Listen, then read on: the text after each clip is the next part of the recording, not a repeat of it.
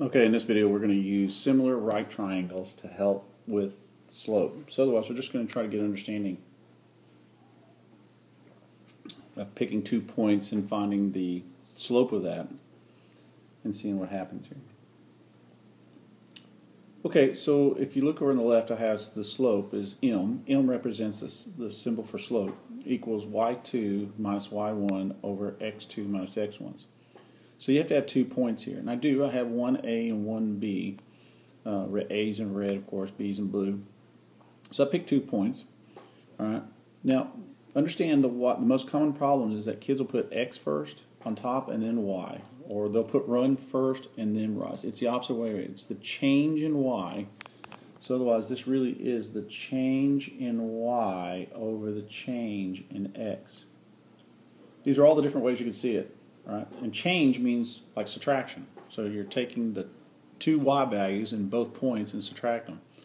and you're taking the y value, uh, the x values in both points, and you're subtracting them. You're, you're finding how much did they change.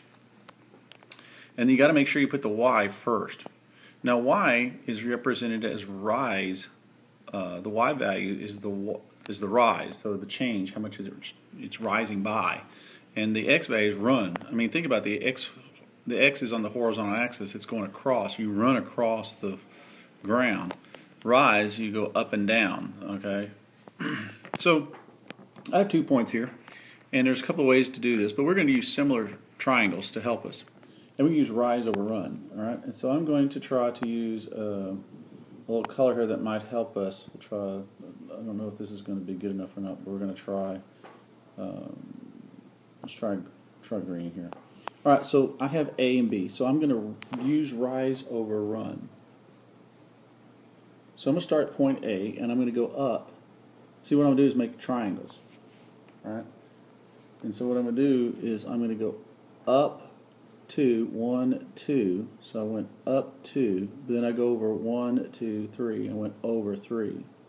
So my rise was two, my run was three. All right? And so we can connect those like that. Right?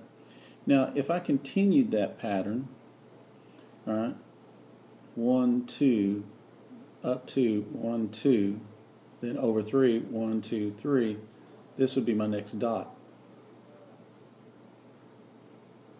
So I'm going to assume that this is my line right here.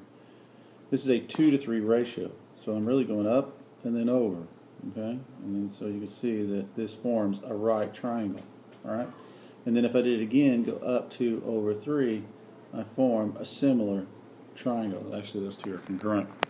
This is 3 this is 2 alright what if I picked uh, what if I went higher? Let's say that I go up 4 alright so I'm going to pick go up 4 and so I'm going to go up 4 1 1 2 3 4 1 2 3 4 five, and I probably did not make my number right. One, two, three, four. One, two, three, four, five, six. It's probably right there. One, two, three, four. One, two, three, four, five, six. And I just didn't have my drawing right. And so that goes right there. Okay, because this line really probably is supposed to go like this. Alright, and so this would be a 4 to 6 ratio.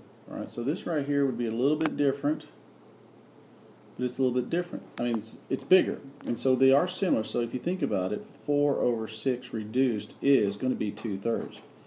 So it just depends on how you want to look at it. Now, if you're looking at the change in y over the change in x, I always like labeling them y, uh, x1, y1, x2, y2. So I will use the slope formula which is y2 minus y1 over x2 minus x1.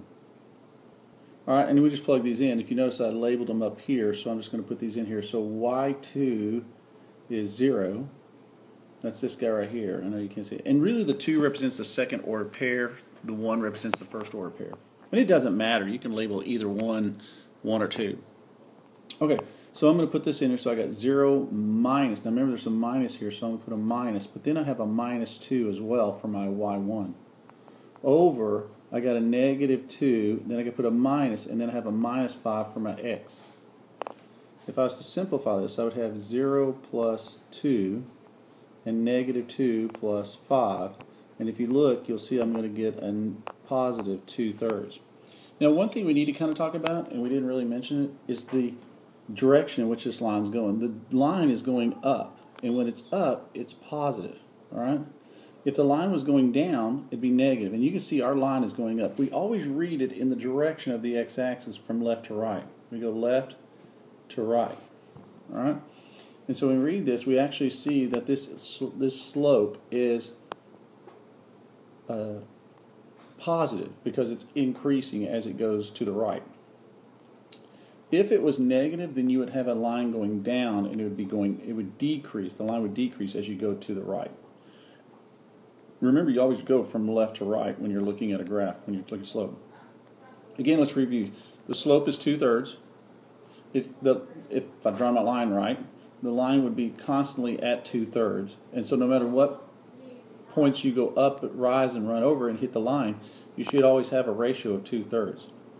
So it doesn't, it basically, no matter what, the slope, the line, the steepness of the line is going to be at a ratio of two to thirds. So it's changing by a two to third ratio.